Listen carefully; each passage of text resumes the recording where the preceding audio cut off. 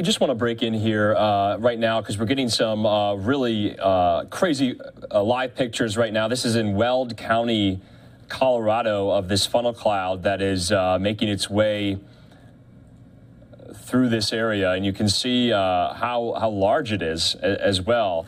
And so we are we're following this. This is some extreme weather coming out of Colorado at the moment, but you can see there. We don't get live pictures like this very often, but this is in Weld County, Colorado. A large funnel cloud has touched down there, and uh, we are we're monitoring this situation. You can see the size and uh, the circumference uh, of this of this tornado here. We don't know what uh, you know scale it is uh, on the uh, the Fujita scale. We don't know what uh, classified F1 or F2. We don't have information on that yet, but we do have some radar that we want to put up as well of the area in just a minute here.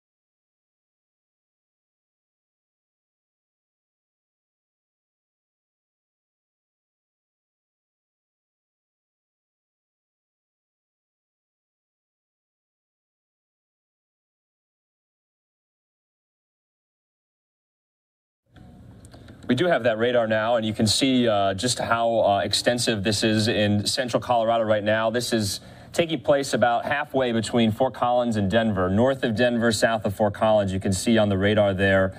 Uh, and this funnel cloud is moving right through uh, this area. And so we are learning a little bit more, uh, but we do not get live pictures like this very often. We have a, this is a confirmed tornado near Platteville. This is in southwestern Weld County.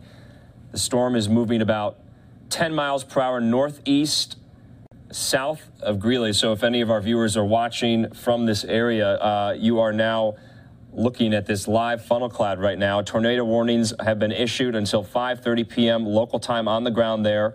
Uh, we are monitoring as well. Uh, emergency um, services are saying to take shelter now in a basement or an interior room in a sturdy building without windows uh, until this storm passes. And so uh, you can kind of get a sense of just how.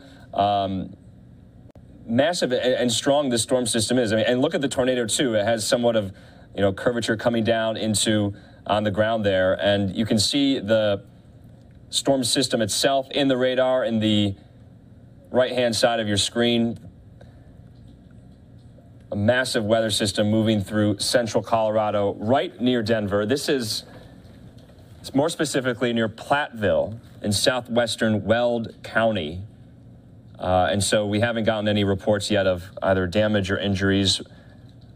Uh, but we are reporting now that this is a very severe weather event. An emergency alert went out to people in the area that a tornado warning is in effect until 5:30 p.m local time. They are in the uh, mountain time zone, and so they are saying emergency services are saying to take shelter now.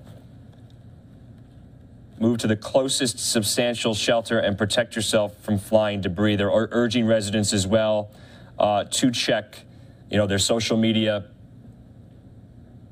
for more updates.